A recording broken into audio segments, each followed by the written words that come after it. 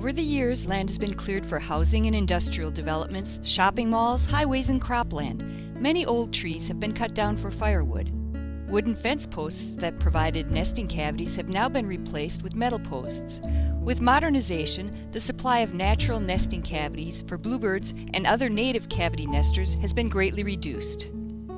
Compounding the problem of habitat loss has been the introduction of two imported species, the house sparrow and the European starling, into North America.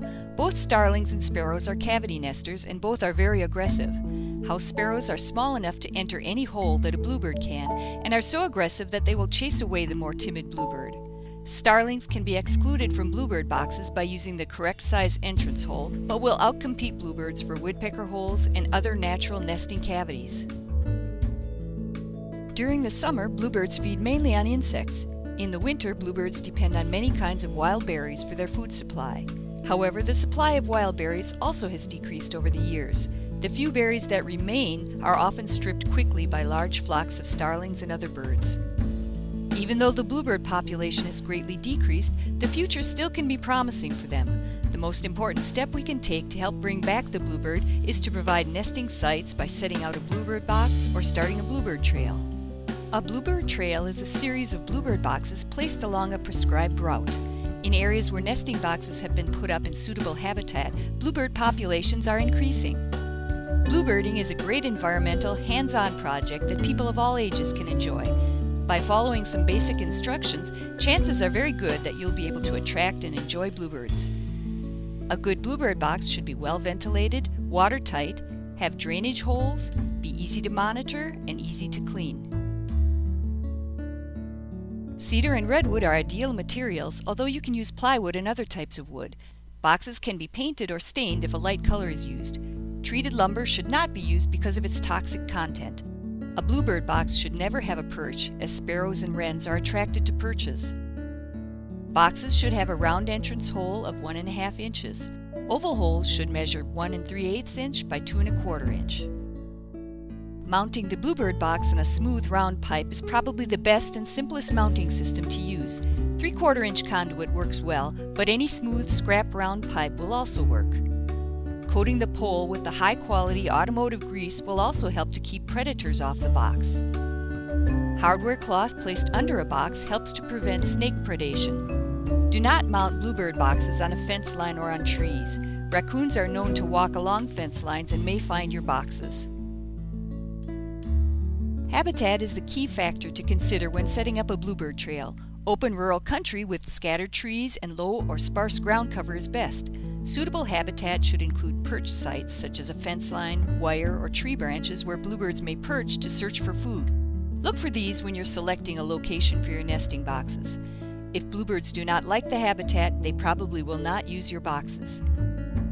Pasture land, acreages, parks away from human traffic, and mowed areas such as cemeteries and golf courses are all good locations for a bluebird trail. Avoid brushy and heavily wooded areas. This is the habitat of the house wren. Avoid areas where the house sparrow is abundant, such as farmsteads and feedlots. Finally, avoid areas of heavy pesticide use. Bluebirds depend upon insects as food. Mount nesting boxes so the entrance hole is about 5 feet above the ground.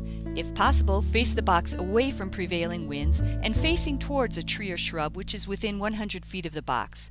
Trees and shrubs provide a landing spot for the young bluebirds when they first leave the box. This will keep them off the ground away from predators. Space boxes at least 100 to 150 yards apart. Boxes can be mounted in pairs in areas where tree swallows are abundant. When paired, mount boxes 5 to 10 feet apart. This provides nesting sites for both species and helps to prevent competition between them. Different species of birds usually do not mind nesting close to each other. Only put up a bluebird box if you plan to monitor it. Check your bluebird boxes at least once a week during the nesting season until chicks are close to fledging. Do not open the box after nestlings are 12 to 14 days old. If you do, the nestlings might leave the box before they're able to fly, greatly reducing their chance of survival. Always remove house sparrow nests immediately.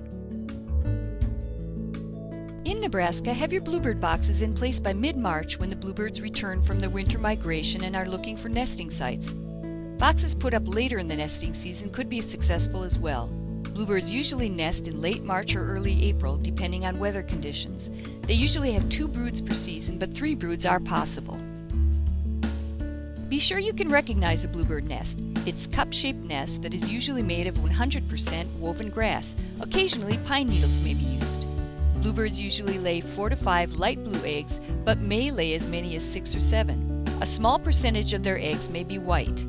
The incubation period for bluebird eggs is 12 to 14 days. Nestlings remain in the nest 18 to 21 days before they fledge. Remove bluebird nests and those of other birds as soon as the young birds have fledged. Keep records of the activity on your bluebird trail. This information is valuable to bluebirds across Nebraska. Annual nesting report forms are mailed to members or are available online. Don't be discouraged if your nesting boxes are not used the first year.